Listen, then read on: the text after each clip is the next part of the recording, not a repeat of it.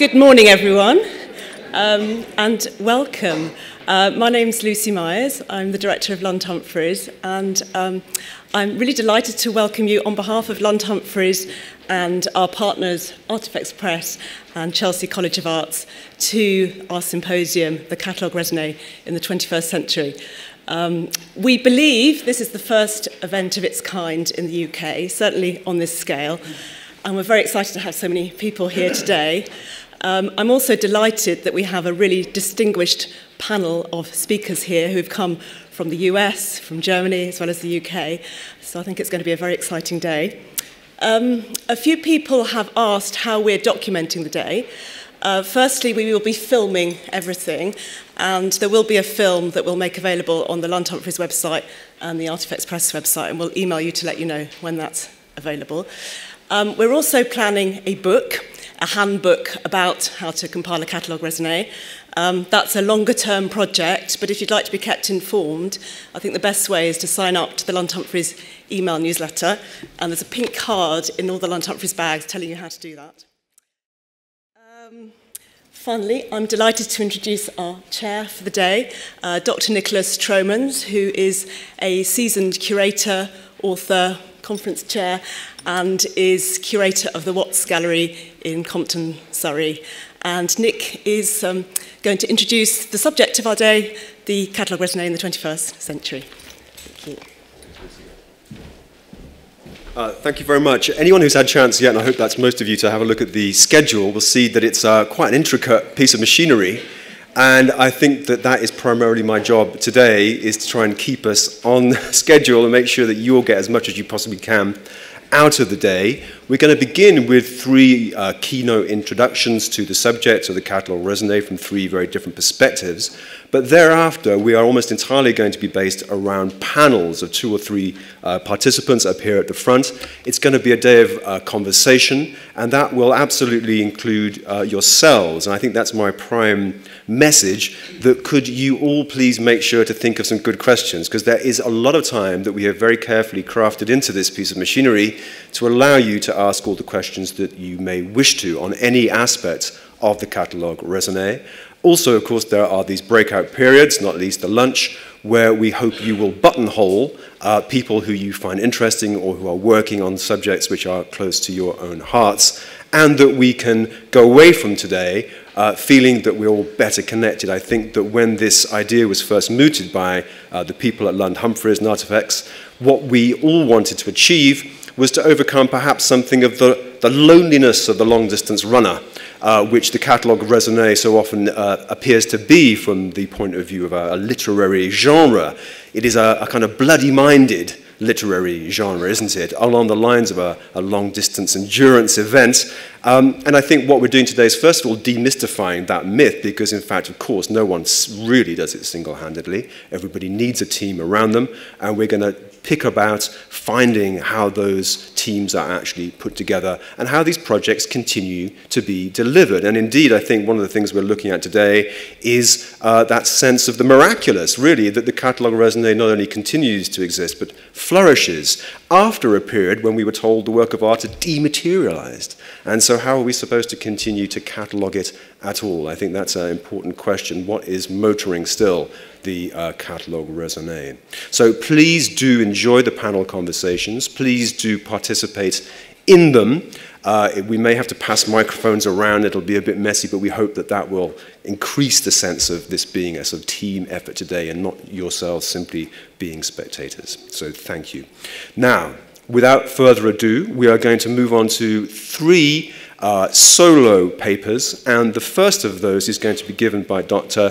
David Anfam, who uh, I'm going to completely try to make blush now by describing him as something of a heroic figure in the recent history of the catalogue raisonné, having completed the Mark Rothko catalogue. And of course, that word, having completed, is in its, that phrase is in itself quite, quite an achievement for any catalogue raisonné. And he is also the guest curator of the Royal Academy's current abstract expressionist exhibition, which has just got the kind of reviews that anyone who works in the museum would give a limb for.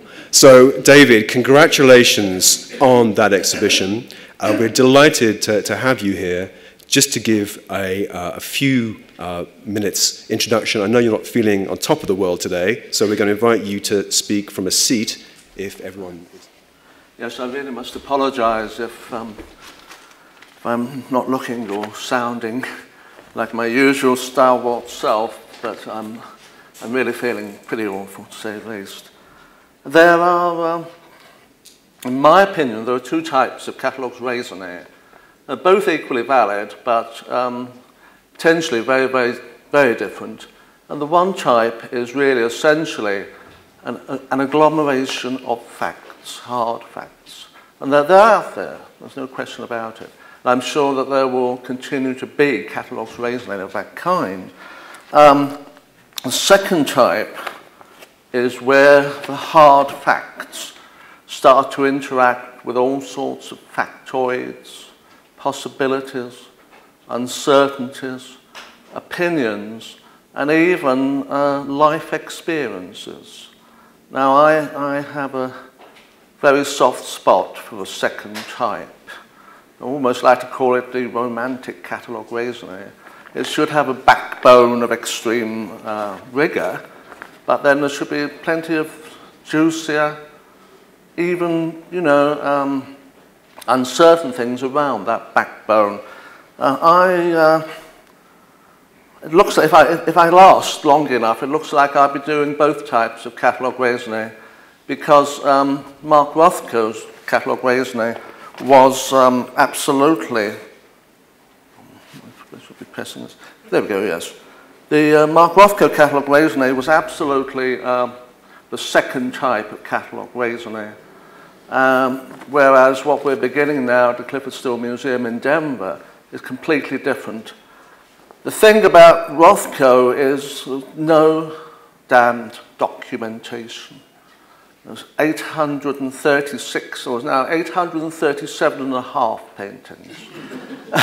because one and a half paintings came to light uh, long after I finished doing it and published in 1998. But Rothko was one of those people who kept no records, or virtually no records at all. Whereas Clifford Still documented with his daughters and his wife everything down to virtually his underwear And it's all, it's all in Denver. And the Clyfford Still archive occupies a, a fair-sized room in itself. So, you know, I'm trying to show you that there are these polar opposites and there's also a lot of grey area in between those types of catalogue raisonnés. In my case, um, catalogue raisonné changed my life because as you'll see at the bottom, in the middle, I was actually, thanks to Margaret Thatcher, uh, with a PhD from Courtauld, I was pretty much unemployed for 10 years, except for, except for the chance to write my first Thames and Hudson World of Art book on a little typewriter. And uh, to keep myself fairly sane, um, I, I took two allotments, and there I am, looking shabby on the first allotment. and above, is David Anfam transformed, looking like a very man of the world, uh, on the balcony of the National Gallery of Art, looking extremely dapper. And I must say, I'm fairly young too. Um, but, and of course, Rothko, you know, Rothko has become incredibly iconic. And, you know, there's a Rothko postage stamp put, out in America. And, and one of the most interesting things to look at is at the lower right, lower left, excuse me, you'll notice a table and you should be able to see, I'm afraid my hands are very shaky there, um, the, the volume, as, as several art dealers said, the book. And that, that's standing in the, uh, in the apartment of Ambassador Donald Blinken. And this was in a, a very glossy, I can't remember, I think it was in Vogue actually, this article. So, you know, catalogues raisonné, they're very powerful in more ways than one. And um, and I just want to say that the, the Rothko took, hold on, um, I'm going the wrong way, aren't I? Rothko took about, uh, well, that net time was, was almost nine years in Washington, but there were one or two bits and pieces before that and after that. And it's quite interesting because although I formally began with Rothko uh, on the 1st of March 1989, two years before that, I'd already been contacted by um, something of a lunatic of a man one of the worst fakes I've ever seen. And that's been going on, still going on, still going on. And it's, it's worth bearing in mind, you have to be very, very, very careful what you do, what you say, and the effect that may, may have. And also, in my experience, um, it's terribly easy to be misconstrued. Because I really want to stand up and say, go home, this doesn't look anything like a Rothko at all. It's a, It's a bad fake. But because I never said that, well, I actually did tell him it wasn't right. Um, but because I never had a chance and I couldn't say that, that's why it's still going on. So this, this area of caution and silence and, and uh, reticence, it, it also causes problems. And, and that man's driving a certain woman up a wall uh, who worked with Rothko, and it's, it's still going on. Um, the other thing about it is that um, I think that you, you, you have to you have to go where angels fear to tread with the catalogue raisonné sometimes. And in my case, I was so naive when I started it that I did all sorts of things which, looking back now, I think would be absolutely incredibly dangerous in terms of the legalities and so forth. But that, that was part of my uh, know-nothing intrepidness, I think, in many ways. Um, I suppose a few anecdotes because um, It's, uh, it's interesting. One is that once the catalogue raisonné was published in 1998, auction prices began to go up and up and up. For a classic Rothko of the 1950s, pre to 1998, you were talking something like, well, if you were lucky, $20 million. Getting on more than that. But then when Rockefeller, David Rockefeller's painting, that's David Rockefeller up the top, top right, when that came up for sale, that was after the catalogue was, and it was published, I think it was 99 or, or 2000, I don't know, I can't remember. But that broke a new record because it went up to 75 million. And some, someone made money, not me. Um, but um, the point I'm making is that the catalogue raisonné has an effect on uh, the artist's reputation and on the artist prices and all sorts of similar things of that kind. Um, there were, I mean, I did, I did the Rothko on a wing and a prayer. It was like, it was like a plane made out of wood and canvas, but it still flew. And, and I'm not in any way against um, the technology, which has which was boomed since then. But I do want to say that I think um, a catalogue Wednesday could still be done without a massive high technology. And, and, and some of the greatest catalogue resumes in my field, for example, like Pollock, Jackson Pollock, the R. Shield Gorky catalogue resonate, they were done literally on file cards like that, you know. And they're not necessarily taken any longer than someone who's doing it now. So it's very interesting. I also had some extraordinary experiences, and if I live long enough, I'll, I'll write my autobiography. Because just to give you one example, um, David Rockefeller there, that's the rock building at Rockefeller Center, went there with a conservator, very narrow at the top, that went there with a conservator, saw a 1950 Rothko, huge number of, um, of um, screws with, on the backing. So we spent like half an hour getting out some 50 odd screws, something like that. I thought, oh, I said to Dana Cranmer, oh, just got it here now. And a door opened, and there was David Rockefeller. And it's just, I never expected to meet David Rockefeller at the top of the rock. And afterwards, I said, I said to Dana Cranmer, I said, can you believe it? She said, no, absolutely not. And where we were, surrounded by screws. Um, In, in other cases, I got to, to, to, to places where people simply almost never get to. And at the lower left, that's um, Ballymellon's Oak Spring Library, with, with one of the largest of all um, totally classic 50s Rothkos, the uh, yellow, orange and red. In another case, I got to Chateau Petrus, and I got a bottle of a 1989 as well. And um, you know, it's quite interesting because of the Petrus Rothko, which happens to be the one on the cover of the catalogue raisonné, um, it was supposed to be discreetly sold earlier, earlier last year, and it was discreetly sold, and it was sold for 80 million. But it was then sold again by the same dealer for 180 million. And the dealer is now being sued by the Russian oligarch who has it. And um, The news was all over Bloomberg. So, you know, it's, it's, this is, these are the fortunes of paintings. But last of all, I had a very interesting experience with um, Hubert de Givenchy at the top, top, top left. Um, I went to his uh, hotel in Paris near the Musée Rodin and um, 10 o'clock in the morning and saw him, very tall, suntan chap, and very charming, poured me out a beaker of wine, not in a wine glass, but in something like that. I don't know, softened me up or something, saw the painting, and he said, oh, um, is this okay? I said, oh, very beautiful. And uh, will it be in the catalogue raisonné? I said, oh, absolutely. Sans question. And um, I, I will never sell my painting. I love it so much. Two weeks later, it was with the dealer, dealer uh, Ernst Beyeler. Sold it right away. Um, but let me get on a bit more. Sorry. Yeah, yes. Um, something that's very interesting.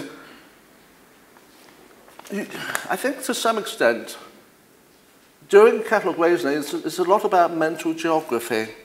And, and you start, as you're going through it, assuming it's a single author catalogue raisonné. Uh, there's two types. There's one is a more editorial board type with um, several people doing it, and the other one is with an intrepid single author. And um, that's where I was in Washington, and that was my office up there. And um, gradually, I started to accumulate Polaroids on the right, you see, and I was able, the office was so large that in the end, before making the final decisions about ordering every work, particularly within the same year, at the end, I could lay out 835 Polaroids in two rows in that office. And um, I don't know if you could do that on a computer or a Mac. Maybe we'll hear more about that later. But it could certainly be done physically without high technology. Uh, let me see now. Oh, there's another issue here. Um, and technology is what works for you. If, if you feel you're better off with a pen than a keyboard, then you're better off with that, you know. Um, the, uh, the other thing is it was done, in my case, on, uh, on a, on a, a Q&A, Q&A 4. And you probably, probably haven't even heard of it now, one of the earlier databases. And it did a few things, but it also made, it was incredibly clunky to work with. And by the end, by 1998, I, I began to wish we'd put the whole thing onto a wholly different kind of tailor-made software. Um, there's also the issue of institutions um, versus privately sponsored catalogues raisonné. I mean, this was, this was sponsored by the National Gallery of Art. But there are other cases where it's, it's an artist estate who does it. And in my experience, the, the friction between the scholar of the National Gallery of Art was absolutely enormous. And I, I won't go into too many details, but by the time I left Washington in 1997, someone very high up there said to sent me a fax saying, as far as we're concerned, you have absolutely no scholarly cred credibility whatsoever. And uh, that's how it was and said we're perfectly prepared to publish the catalogue raisonné without any introductory text. Um, that was where Yale University Press came in, uh, John Nicoll, and save the day, but by, by, by, the, by the distance of a cat's whisker. Um, the thing about Rothko, as I was saying, is 835 paintings, give or take a few, and of that, almost exactly half, or 300, were totally undated. He didn't date a single thing until around 1950. Um, so he was systematically unsystematic because he often gave these numbers on the back. You can see the numbers there. And then on top of that, there were the uh, so-called estate numbers, which were given to uh, the paintings. Uh, well, not just before Rothko died, when his whole estate was inventoried. But the trouble with this is that the, uh, the Rothko dates, when they appear, they're not necessarily accurate. Uh, Rothko, uh, read between my, li uh, my lines, Rothko was a very heavy drinker. And didn't always put quite the right dates on the back. And often, often, because the uh, inventory which was done in 19, uh, nine, oh, excuse me, 1970, the winter of 1979. It was done in a big hurry. And those dates, like 5018.5, or sometimes they're accurate, sometimes they weren't. Um, there's also, when you're doing it, what I had to face was trying to integrate and induce facts and ideas from a whole mass of data. And for example, there was no dating on Rothko's mother, but we know she was born in 1870. And she looks, as I said to uh, Christopher Rothko, she looks about 60ish there. So that takes us to circa 1929, 31. It's not absolutely certain. I mean, she may just be looking 60 and actually 80. But, um, you know, that's the, um, that's the way it is. Other interesting things, for example, um, see the painting down below? It's called The Road, um, down lower left, no, excuse me, lower right. Well, this is what I believe a really thorough scholar should do. That painting was just known as The Road and had no idea where it was or what it was. And, and I, I suspect certain types of scholars doing catalogues raisonné might not want to probe into that area at all. They just publish it as the road. But I went to see Rothko's brownstone house at 1000 Park Place, upper right. And I thought I'd take a walk around from there. Very dangerous area. But I walked down to Nostrand Avenue, and I think if you look very carefully, oops, excuse me, uh, at the end of Nostrand, Nostrand Avenue is a red brick turreted armory. And so we know exactly where that is. That's the, that elevated line is still there.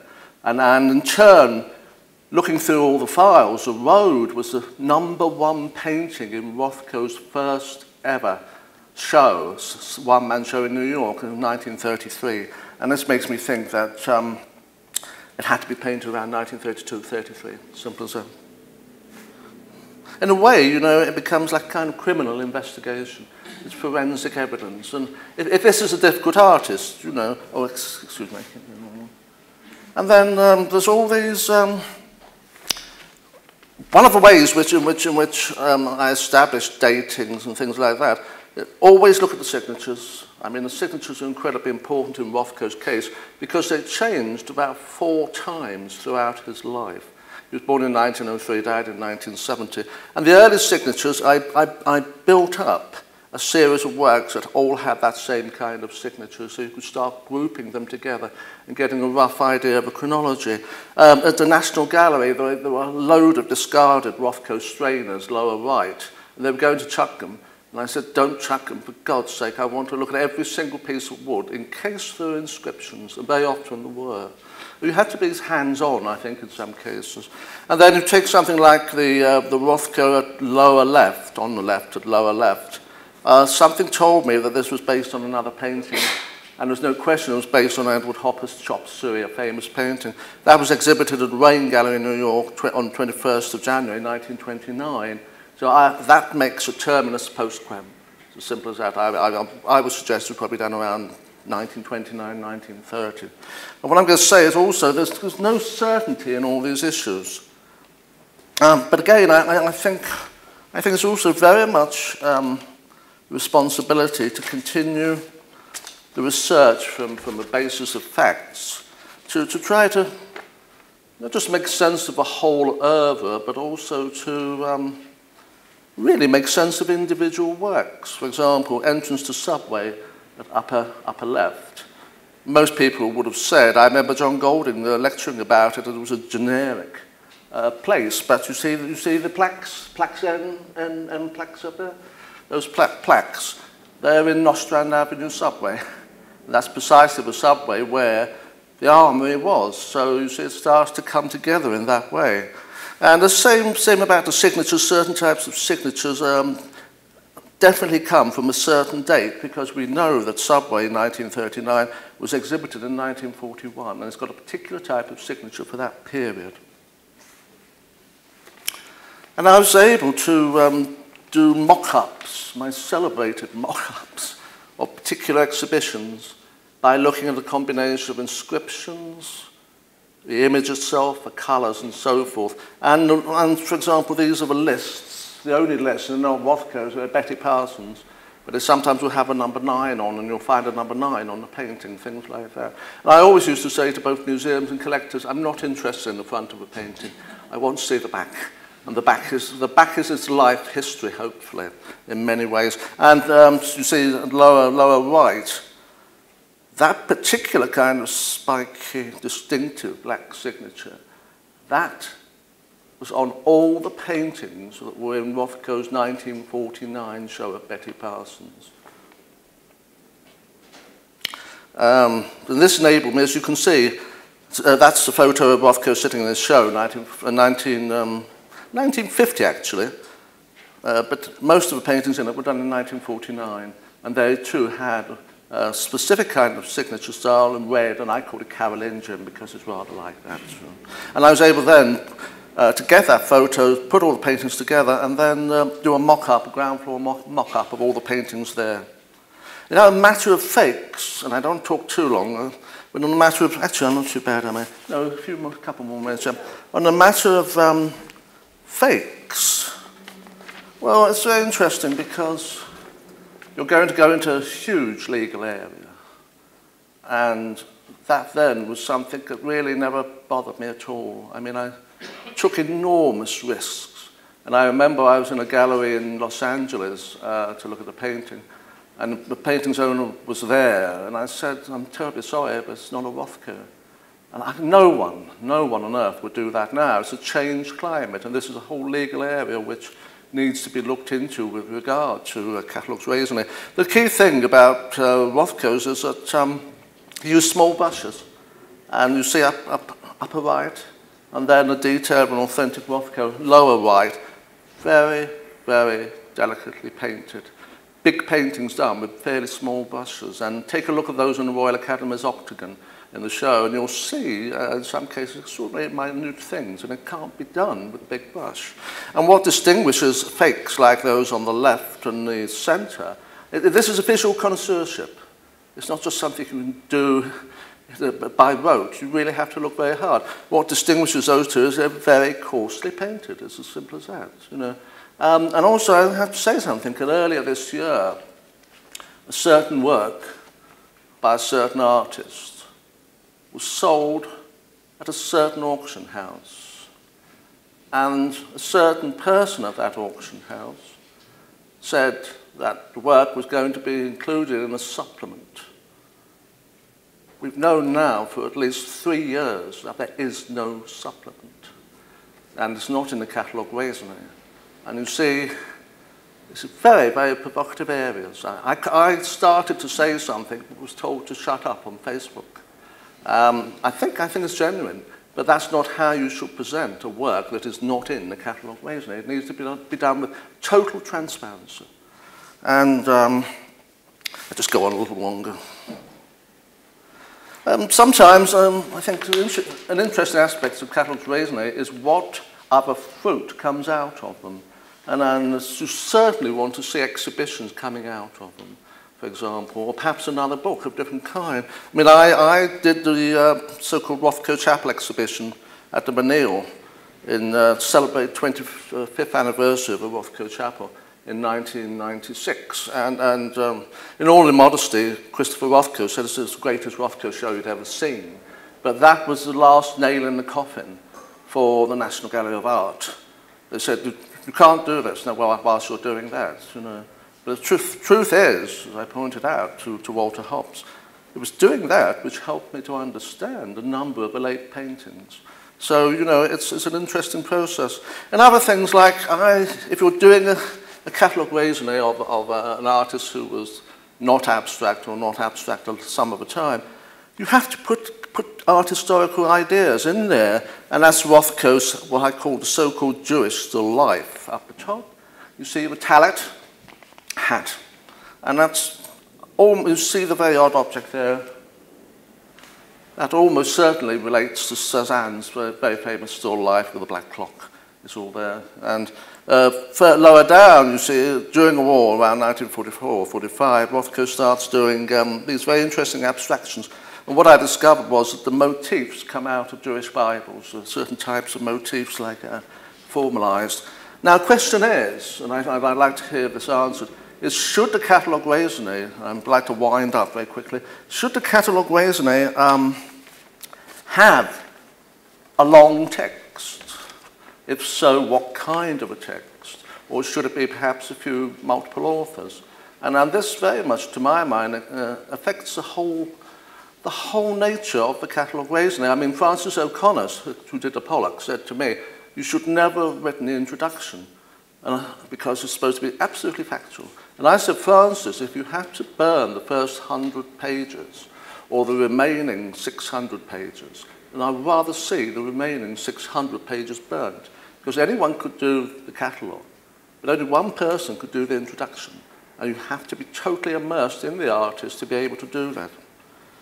And at the end of the day, um, it came out, and I think it was one of the very first um, catalogues raisonné to be done with the works more or less in proportion up to a point. Before that, there was just one work after another. But Rothko's sizes varied from the minute to the huge. And here, you know, this is where the designer came in because I was incredibly fortunate. Not just the, the, the publisher was very important. I mean, without the publisher, you would never have had it uh, with the first 100 pages of text. But then the designer is very, very important because it's how it looks. And, and in my case, the designer was a very famous designer, Derek Birdsall. And um, he, he wrote that article up there, upper, upper left. And he said one very interesting thing. It was going to be in one volume, but my job, Derek said, is to make space. And, and in making a space, we're also able to make the proportionate sizes of the reproductions. And I think, yes, as a last point, uh, wrap it up. There's something, you know, quite um, philosophical about catalogues raisonné. And as I was reading through, the great, the great humanist scholar, scholar uh, George Steiner, one of his essays, he brought up the idea of catalogues reasoned and scrupulous as being a sign of a civilized intellectual order of society. And when they go, it's like, you know, other things going. And um, the other thing in the middle I came across that is that the factual ones are not necessarily as factual as they look. It's sometimes, and I know this from inside, sometimes the presentation of fact can hide a multitude of sins. Uh, but if they look like that, then there's a Chinese wall around knowing what's actually behind it. And the very last point is that Frank Kermode, the great literary critic, carnal readings are much the same. Spiritual readings are all different. What he's saying there, he's talking about texts, but it might as well apply to a catalogue raisonné. The purely factual catalogue raisonné is a carnal reading. The one that has interpretation and many other things feeding into it is what Kermode would call a spiritual meaning. And I will always come down on the side of the second. Thank you very much.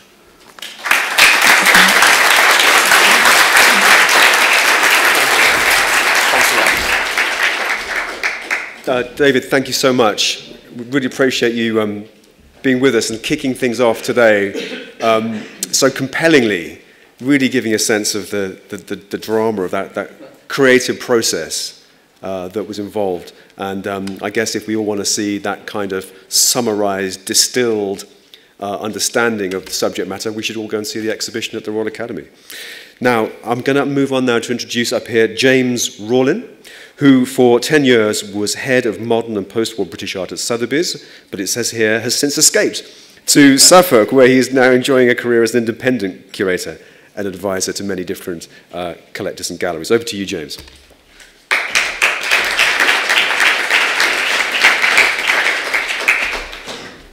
Thank you very much. I think I might have drawn the, uh, the difficult one to follow. Um, I've been asked to speak to you today from a, a very distinct standpoint, which is of someone involved in the commercial side of the art world. And as such, some of the points that I might raise um, could well set the teeth of one or two of the more academically minded amongst you slightly on edge. However, it's a very simple fact that a large part of selling a work of art is concerned with gathering together really quite a, a, a disparate number of pieces of information. And that helps us to make the case as to why somebody should buy or sell a particular work as opposed to another one. And amongst those, you find the power of the image, obviously, the historical importance of the work, its exhibition history or lack of that, and provenance, and uh, you know all the things that go together. Those make up the jigsaw that becomes a successful transaction in the commercial art world. And much of this information we find amongst, uh, between the covers of a catalogue raisonné. But when I first started working with modern British art in 1990, there was rather a dearth of literature on many of our major artists, and catalogue raisonné were very few and far between. We, we had one or two beacons, like the, the multi-volume uh, Henry Moore Foundation publications, but that was very much the exception rather than the, the rule. And for a number of important names, the main resources that we had to work with were biographies, memoirs, uh, those slim catalogues from regional galleries in the 60s and 70s, some of the Arts Council publications, and the monographs and catalogue raisonné we had, if they had some sound and, and solid information and hopefully some good colour plates, they were objects to cherish. And as the years have passed, my bookshelves have slowly filled with quite a large number of, of catalogue raisonné, which of course we must all realise is a good thing, yes? Yeah? Well, not always. If I give you a little imaginary scenario, I'm sitting at my desk and the telephone rings. And I find myself speaking to a collector who wants to talk about a particular painting or sculpture.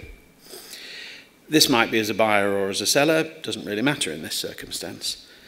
But as soon as they've given me the barest information, I can go to the shelf, appropriate shelf in my library, take down the catalogue raisonné, look up the work under discussion. There I have wonderful, accurate colour image, I've got all the physical details of the work, I've got the complete provenance, the literature, the exhibition history, with a bit of luck, a nice contextual note, and that relates it to other works by that artist that I know or, or by other artists. And my conversation with that collector now proceeds from a very informed standpoint. But there is also the flip side of that. The telephone rings, etc., etc.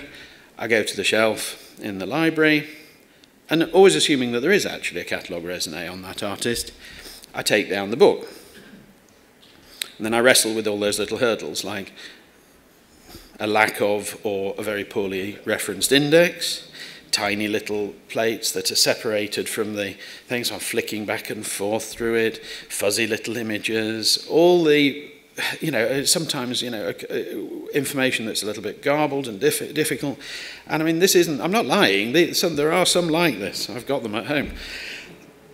And that really compromises my ability to have a, a sensible and useful conversation with the client who may be considering spending these days quite a lot of money. So you might all just think, well, that's, you know, poor old James, he needs to be doing his own research, what a shame but you know, this raises a very serious question for people like me who work in the commercial sector of the art world. The spectrum of publications that we have to work with is exceedingly wide, and it goes from things that are absolutely de rigueur to some which are well nigh unusable. And obviously, some of the older catalogues have suffered with um, particularly works that have come to light in the interim and extra scholarship that's, that's happened. Um, but some of the more recent publications are not as easy to use and as not as helpful as they, as they might be. And this, of course, is partly because, for us, the catalogue raisonné is primarily a tool. and it's a tool that has lots of different uses. In the hands of a university lecturer, a student, or a researcher, it serves a very different strand of purpose from that which an auction house specialist, a dealer, or an appraiser will put it. And in my departmental library at Sotheby's, you could generally tell which were the catalogue raisonnés that we found most useful because they were so battered and dog-eared. And they were filled with notations, post-it notes with additional information, information about collections and owners, um, where things had changed hands, and sometimes, dare I say it, the odd correction. And these battle-scarred raisonnés that we had sitting on the shelf, um, those were the best tools that we had for the job. And in order to perform that function, those tools had a one prime uh, factor, which was information. Sound and clearly presented information. In the commercial art world, we need to be able to identify the work in question, trace its exhibition history, link the provenance together. And pro provenance is, is, I think, you know, David touched on this, how you pull a piece into the realm of the sort of continuous history, provenance is such an important element. And we want to be able to check the references to other literature. We want to be able to see how it fares when it's, when it's um, been written about by other writers. And we want to see how this piece stands up. And we need this information to be trustworthy. So therefore, the most successful catalogue raisonnés are, to us, invaluable. They add one other piece to the jigsaw. So therefore, you might be thinking that I want more of the same. You know, wheel out those authoritative volumes. Well, a good catalogue raisonné, even a good catalogue raisonné, isn't always the absolute answer to the gap on my bookshelf. As many of you know only too well, producing a work of this type takes time, a long time. Even once the research is done, which of course it never really is, the physical production of the, of the book itself can run on and on. And many of the times when we see in auctioneers' catalogues that line to be included in the forthcoming catalogue raisonné, and we see that for years and years. we used to actually have a little cut and paste bit that we would put into the catalogue, just change the name. Um, and you can absolutely guarantee that even once you've given the final sign off, it is sod's law that something unknown will turn up. I once asked an author to come in and uh, visit us in advance of, a, of, an auction to see some pieces that we had coming up uh, by an artist she was writing about. And on seeing these four paintings, she declared that she was delighted and frustrated in equal measure. Of the four, one she knew very well, one she'd only known from a tiny ancient black and white photograph in an archive, one was known by title from a, uh, an old catalogue entry, and the last one was completely and utterly unknown. And she'd given the printers their final go ahead the day before. As you can imagine, she was a little bit frustrated. And therefore, if we're dealing with a large body of work, particularly, are there ways that that information can be allowed to build gradually while, um, while a catalogue is in production, just to start to keep people informed, um, and make it available to users? I mean, I like nothing better than having information to go to. Um, and knowing that a catalogue is going to appear in 10 years' time is, well, it's wonderful to know it's going to happen, but there's there's going to be a need for it in the, in the interim. So online catalogues, of which there are one or two, they do have a benefit in that they allow a continual update of new works and any information that comes to light. And it particularly, and I know this is something that exhibition curators value, is when you can see how pieces have changed hands. And many is the catalog resonated from even from relatively recently that you look in and you see the whereabouts of a work and it's changed hands in the interim. If it's changed hands publicly, that's very helpful because you can go and, and go through that institution. But if things have changed hands privately, it can be exceedingly difficult to trace where a thing has gone. And the quality of that information really is, I think, probably quite key in dictating whether a catalogue raisonné, certainly of the two differing types that um, David mentioned, whether that is actually the way forward. Um, you know, whether you're an academic, a collector, or a commercial agent, it's that sound information that makes the publication valuable to you. And if that artist was somebody who kept absolutely rock solid records from day one, from their earliest records, they cross reference their correspondence, they have everything photographed, then brilliant. But that doesn't sound like most artists I've ever had to deal with.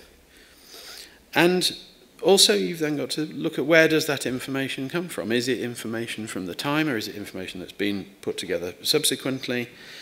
And, you know, we have to accept that artists' estate and particularly artist families do inevitably have, however small, a, slight slant in their approach to um, the subject.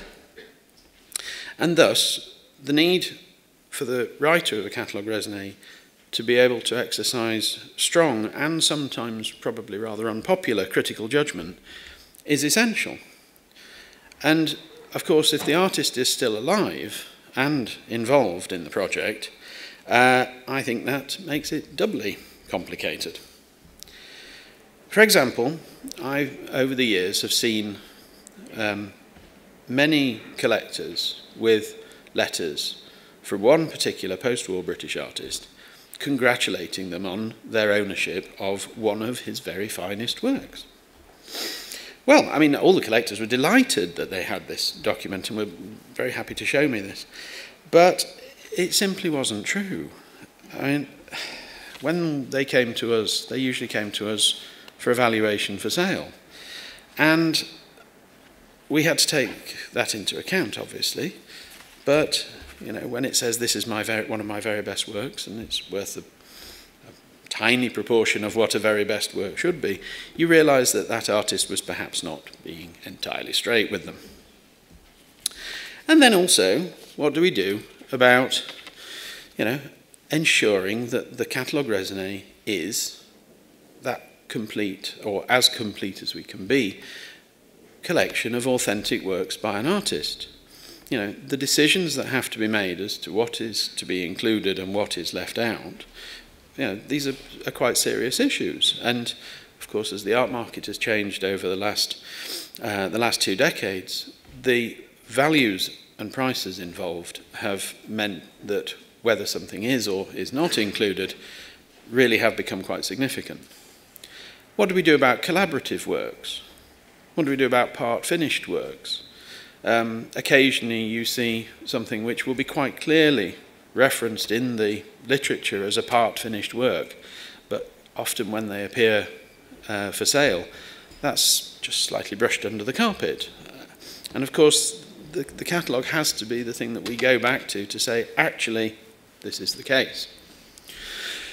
What about when artists fall out with the owner of a piece by them, and then in spite, deny the authenticity of a, of a particular work.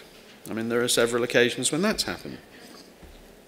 Will there be some form of committee or expert opinion to cover those works that come to light after the publication? You know, all these works sort of sit in a hinterland and they have to be judged somehow. And if it isn't done well and done with authority, it can undermine the credibility of the whole project in the eyes of the art market. And the ability of a catalogue raisonné to deal with the, quest- with the area of questionable works has considerable um, potential for problems. And in the modern world, people expect to get answers quickly. They want to know now. And this ability to find that information um, one example where that pops up on a regular, relatively regular basis is where something is shown to a major dealer or a major auction house. They get a, a, an opinion from a recognized expert who turns it down. The piece goes back to its owner, and then some time later it pops up in a regional auction, maybe in another country, as what it's purporting to be but isn't. And the complications there are legion. You, you can't blame a small auction house in the middle of nowhere for, buy, for not buying a hugely expensive catalogue. They may never see another work by that artist again. Uh, and certainly with 20th century work, it is, it is very common. But it, is, it, really does cause problems. I had a situation like that only about two weeks ago. And, very good.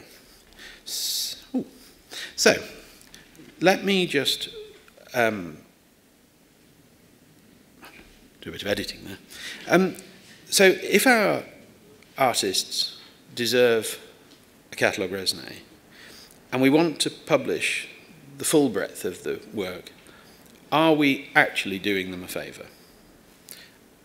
Because, yes, there is a perfectly good scholarly reason for doing it, but from an artistic art market point of view, if you imagine a, a period during which an artist absolutely shines, there may be a 10 year period that absolutely every collector wants to hone in on. But then you've got the rest of the career that they don't. Being terribly sort of with my art market hat on, um, showing them the work that is academically and uh, historically very interesting sometimes can be rather off putting. Sometimes it can take away the luster of those great years. And I know you won't like me saying it, but that's how things often happen. Um, I mean, there are, of course, no correct answers to any of this. The requirements of academic study and the commercial markets often differ. But if we're all thinking that the purpose of any study is to lift the profile and really celebrate the achievements and abilities of the artists, we're probably not really that far apart. It's just finding the ways in which we use that tool. And make it, of course. Thank you.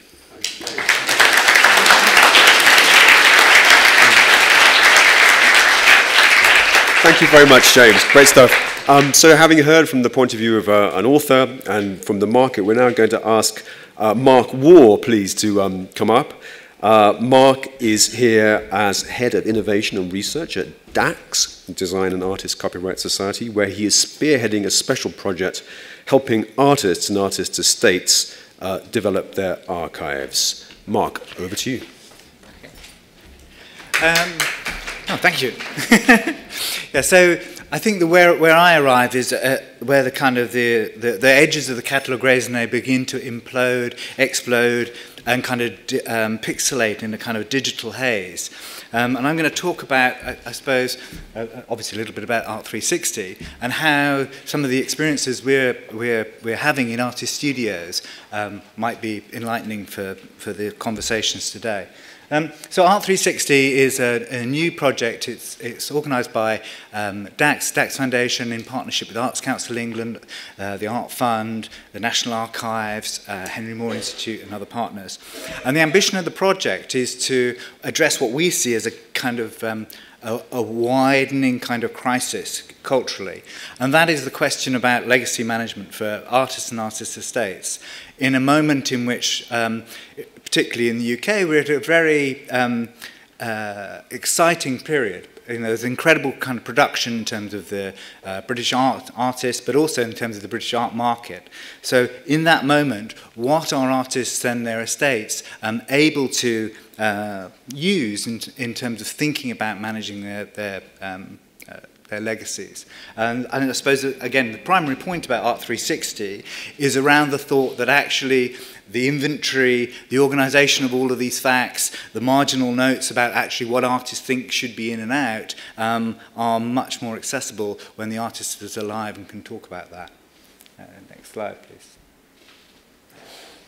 Um, And the range of artists we're working with is, is very diverse, but one of the, one of the um, aspirations of the project was precisely to work with artists um, across a variety of gender, across a variety of um, regional location, across a variety of practice, across a variety of age, in order to think about what the universals are around um, legacy management and what the specificities are. So we are working with um, painters, sculptors, etc., um, um, but some of the artists we're working with are definitely working with very challenging materials and very complicated bodies of work.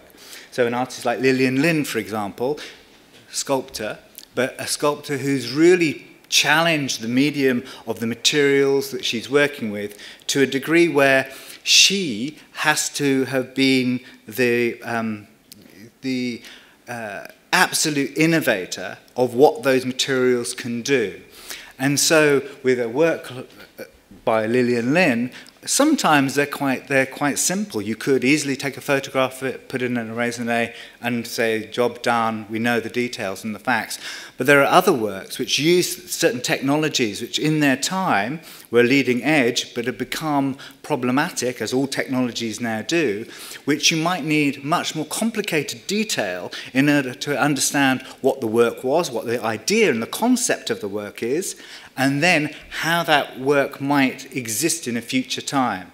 And it's those kind of boundaries that we're, we're finding um, very increasingly in the project.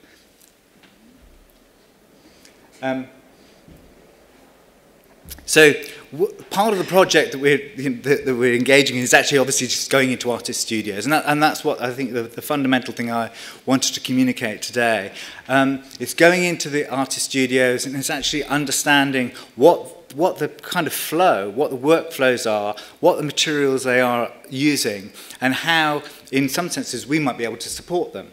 And um, around that kind of question of support are very, very simple things. They are, Do you have an inventory? How is that inventory organized? What's the logic you bring to decide works which are inside and out of it? And then how um, would you communicate that to a third party?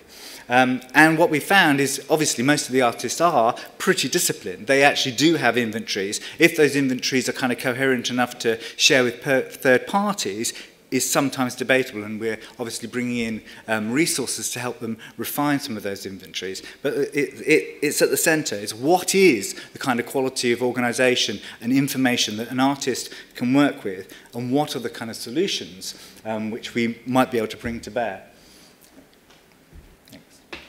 uh, Liliane Lijn again. Okay.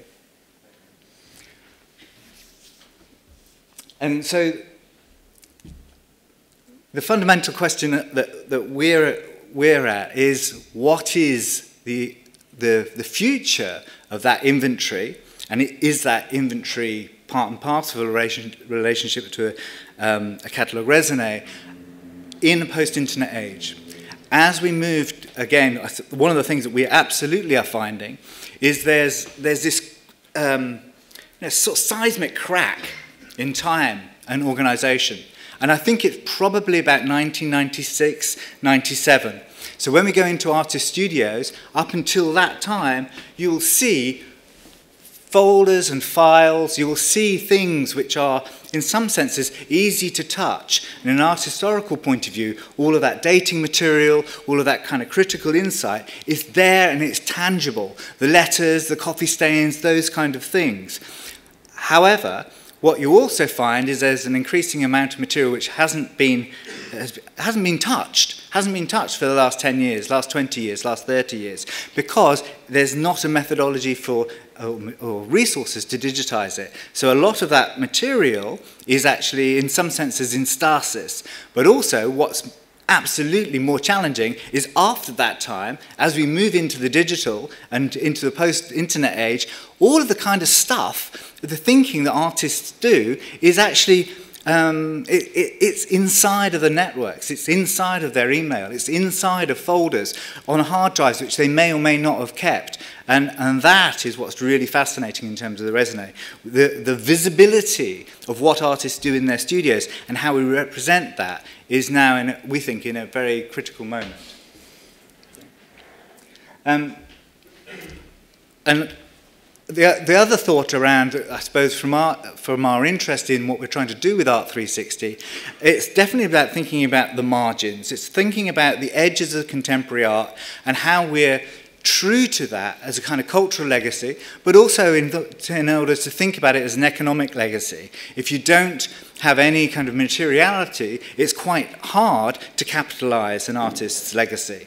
However, it's not impossible. And the example of um, Tino Sehgal, I think, is a great one to just, just you know, that catalogue raisonné. What is it? We can't say that Tino Sehgal is not an important artist. He absolutely is. However, what is the catalogue raisonné for an artist like Tino Sehgal? And, and it's just that, it's just the immensity of that question, I think, that we have to be thinking about as we go forward. Um, but we are also working with artists working in kind of more traditional forms. I mean, there's, there's, there's a real appetite to help um, artists and artist estates to rationalize the materials they have.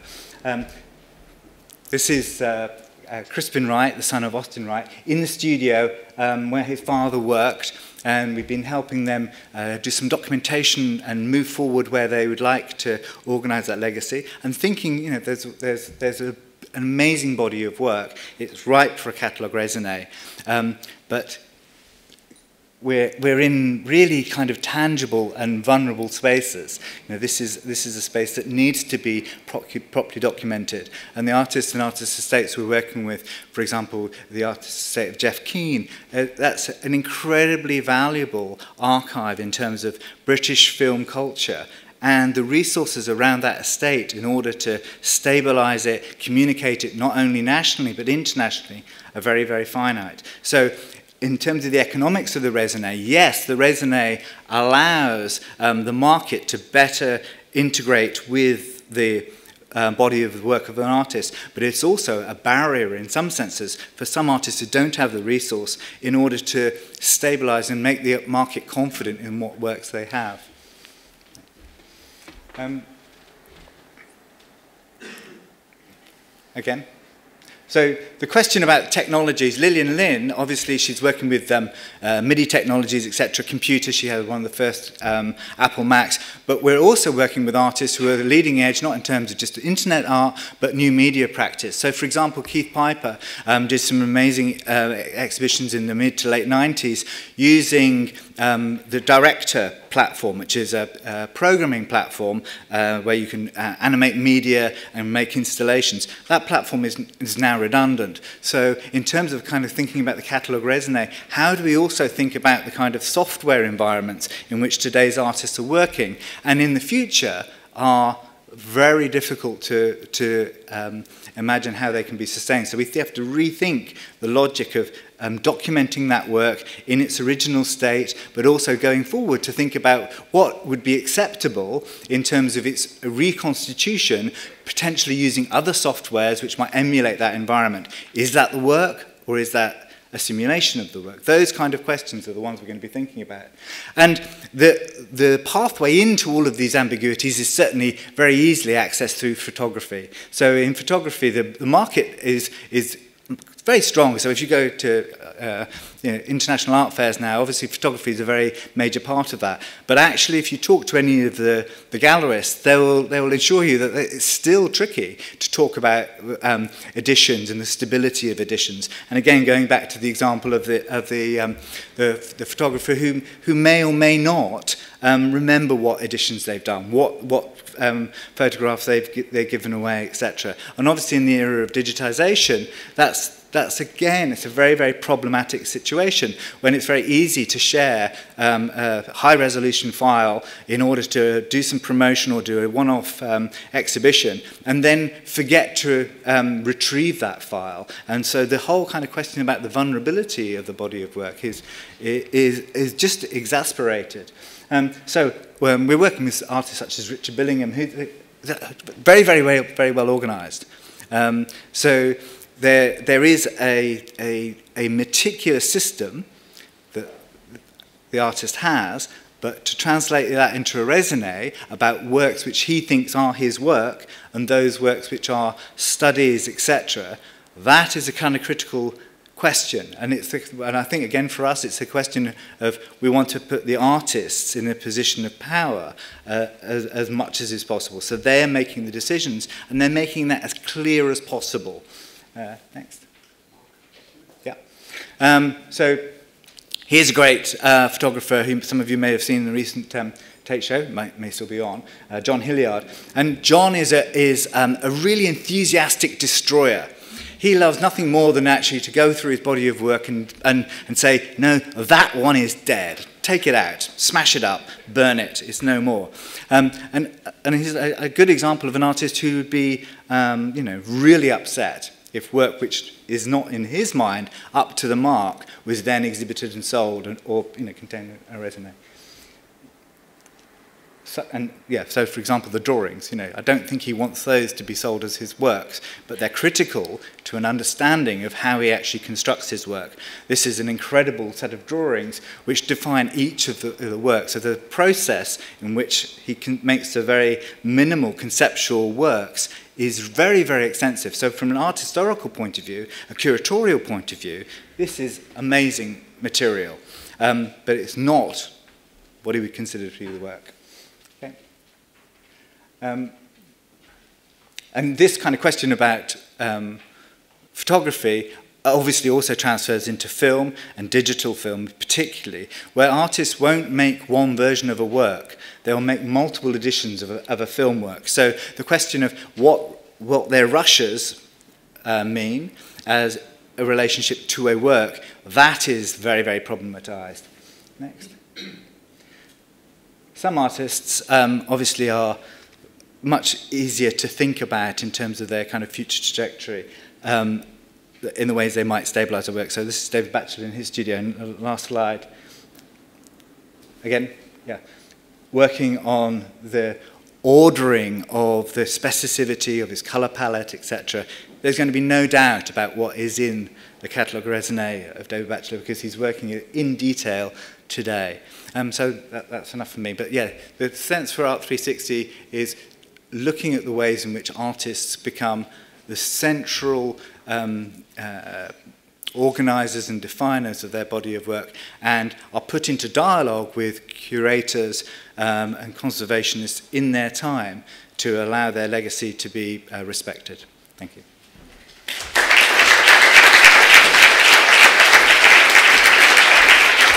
Thank you very much, Mark. Um, some wonderful images there of um, artists as, as self-catalogue, as intriguing.